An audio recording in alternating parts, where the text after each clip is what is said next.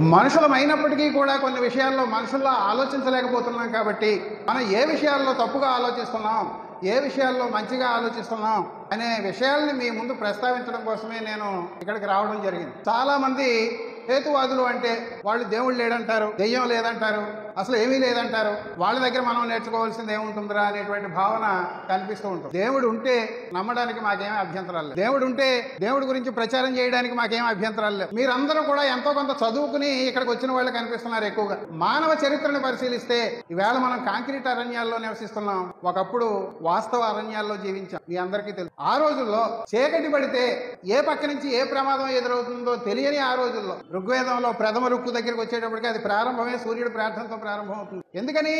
ఆటవిక జీవనం గడిపేటువంటి మన పూర్వీకులు ఆ రోజుల్లో చీకటి పడితే ఏ జంతువు వచ్చి మీద పడుతుందో ఏ ముళ్ళ మీద కాలేస్తామో ఏ పాము వచ్చి కలుస్తుందో ఎప్పుడు తెల్లవారుతుందా అని చెప్పి భయంతో జీవించారు ఆ భయం నుంచే సూర్యుడి ప్రార్థన వచ్చింది. వర్షం వస్తే చిన్న వర్షం అయితే ఇబ్బందిలే ఈవేళ వచ్చినట్టుగా పెద్ద వర్షం వస్తే ఇబ్బంది. ఇదేదో మనకి తెలియని శక్తులు ఉన్నాయి.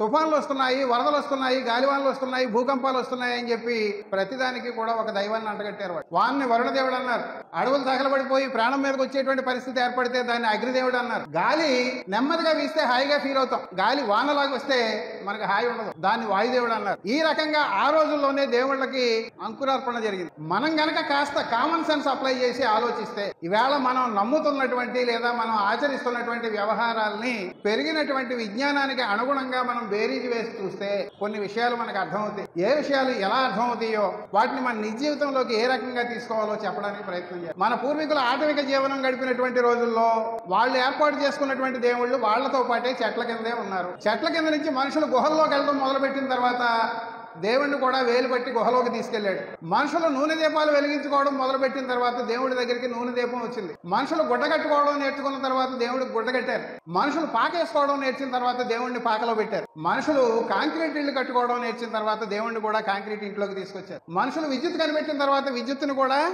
దేవుడి దగ్గర అరేంజ్ చేశారు. మనిషి పట్టు వస్త్రాలు కట్టుకోవడం నేర్చిన తర్వాత దేవుడికి పట్టు వస్త్రాలు కట్టారు. మనిషికి పుట్టినటువంటి బిడ్డే దేవుడు కాబట్టి మనిషికి ఉండేటువంటి లక్షణాలన్నింటిని దేవుడికి ఆపాదించారు ఏమిటా లక్షణాలు? మన కోపం ఉంది.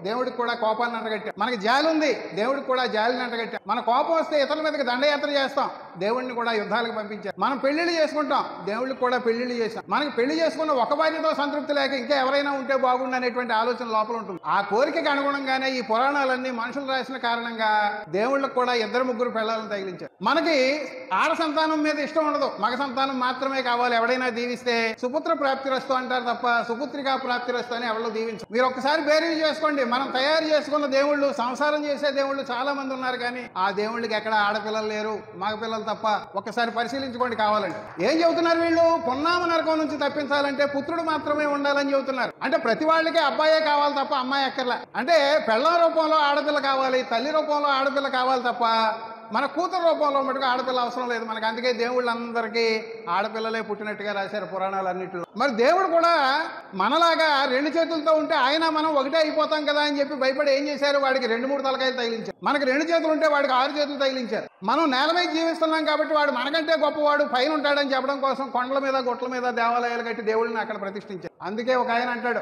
ఇల్లును వాకిలింగ్ కలిగి ఇద్దరు ముగ్గురు ఆండ్రు కలిగి పై పిల్లలు జల్లలుంగల్గి వెక్కసమైనట్టి కుటుంబ భారమున్ ఏదలేక పలవించడు దైవత కోటి నా మొరలు మెల్లగా ఆలకించి లవలేశము ముక్తి నొసంగ నేర్చునే అన్నాడు. ఆయనకి కూడా మనలాగా సంసారం ఉంది. పిల్లలున్నారు పిల్లలున్నారు పిల్లలు ఆయన సంసార బాధల్లోనే ఉంటాడు. ఇంకా నా బాధలు చెప్పుకుంటే ఆయన నా బాధలు ఏ రకంగా తీరుస్తాడని చెప్పి అడిగాడు కవి